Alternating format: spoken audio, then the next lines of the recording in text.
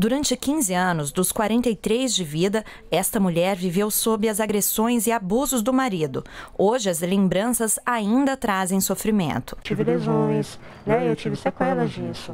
Né? Então, a importância de uma pessoa que apanha o primeiro dia ela tem que no primeiro dia tomar decisão. Há 10 anos, casos como este começaram a ser punidos com mais rigor e as vítimas passaram a ter mais apoio para denunciar e enfrentar a situação.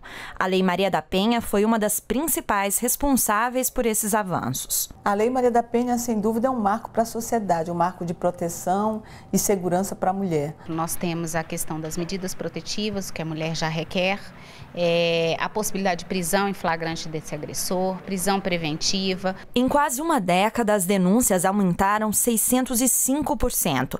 Para a Secretaria Especial de Políticas para as Mulheres do Ministério da Justiça e Cidadania, a Lei Maria da Penha deu mais segurança para a sociedade. Quando você tem o crescimento das denúncias, não significa que está aumentando é, com esta mulher que tem, que sofre essa violência, mas que ela já sabe onde procurar. O trabalho desenvolvido nas casas da mulher brasileira, criadas pelo governo federal, é mais um exemplo de aplicação do que prevê a Lei Maria da Penha. A Casa da Mulher Brasileira, ela foi concebida mesmo com essa ideia de, de, de oferecer atendimento de forma integral à mulher em situação de violência. E é na Casa da Mulher Brasileira, da capital do país, que a dona de casa, com quem conversamos no início da reportagem, busca o recomeço. Conseguir ter acesso a esse curso do Pronatec. Está sendo importante porque é que eu estou conseguindo reaver minha autoestima, ter uma perspectiva de vida melhor, né? Antes ela não podia estudar ou trabalhar. Agora faz planos e manda um recado para quem sofre com a violência doméstica e ainda não procurou ajuda. Toma a primeira atitude enquanto há tempo, enquanto é cedo.